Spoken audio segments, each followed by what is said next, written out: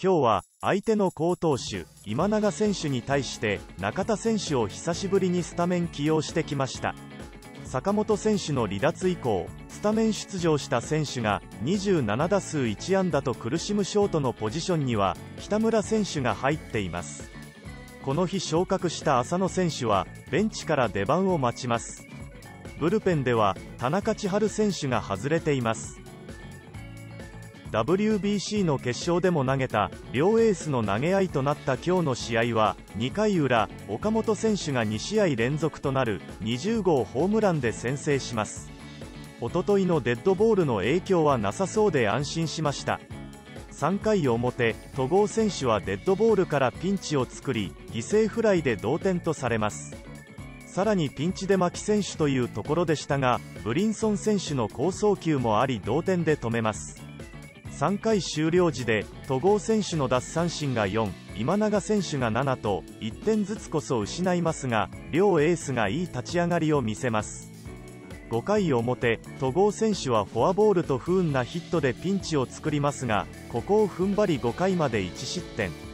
8つの三振を奪う好投を続けます。5回裏吉川選手に23打席ぶりのヒットが出ますがこの回も2つの三振を取られ今永選手に5回まで12個の三振を奪われます。6回表戸郷選手が相手の中軸をテンポよく3人で打ち取りリズムを作ります。1番からの攻撃で何とかしたい6回裏ツーアウトから秋広選手がツーベースヒットで出塁しますが勝ち越し点は奪えず同点のまま7回に突入します。7回表戸郷選手のボールは悪くなかったと思いますが相手にうまく打たれてしまいました。ホームランで1点をリードされます。7回裏の攻撃先頭の大城選手中田選手が連打でチャンスを作り共にダイソーを送り勝負をかけます。吉川選手がバントを決めワンアウトに三塁の形を作り代打で長野選手と岸田選手が出てきますがここは今永選手がすごかったです。4人の選手を投入し勝負をかけたイニングで追いつくことができませんでした。8回は大江選手と三上選手が登板し相手の中軸を3人で抑える好投で攻撃のリズムを作ります。今永選手が降板し1番からの攻撃となる8回裏でしたが3人で抑えられ1対2のまま9回に入ります。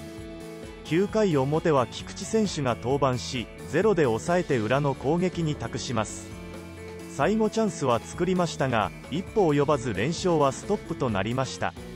今日の試合は戸郷選手と今永選手の素晴らしい投げ合いの面白い試合でした。また切り替えて明日明後日と連勝してもらいましょう。このチャンネルでは巨人の試合が行われた日には試合終了後1時間以内にその日の試合の振り返り動画を投稿し視聴者の方とコメントで感想戦などを行っています。よろしければチャンネル登録お願いします。明日の横浜の先発はガゼルマン選手です。今シーズンはここまで11試合に先発登板し3勝3敗防御率3.77という成績です。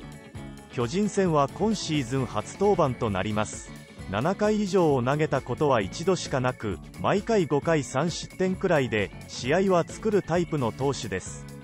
横浜の先発陣の中では比較的難しい相手ではないのでしっかりと攻略していきたいです。対する巨人の先発は菅野選手です。今シーズン4度目の登板となりますが登板を重ねるごとに良くなってきている印象です。横浜戦は通算で43試合に登板し22勝9敗と大きく勝ち越しています。昨シーズンも6試合の登板で防御率2.25と得意にしている横浜戦なので明日も好投を期待しましょう。今日のイースタンリーグでは松井選手が先発登板。プロ入り自己最長の6回と3分の2イニングを投げて7安打2失点という内容でした。ランナーを多く出しながら粘っていくピッチングでしたが三振も6つ奪えて最長イニングを投げられたことは良かったと思います。今後もファームでローテを回り続け8月の連戦に備えていてもらいたいです。増田陸選手が左肘靭帯損傷の怪我を負っていたことが分かりました。先日の湯浅選手に続く内野手の離脱です。坂本選手の故障以降共に自主トレを行う弟子たちの故障が相次いでしまいました。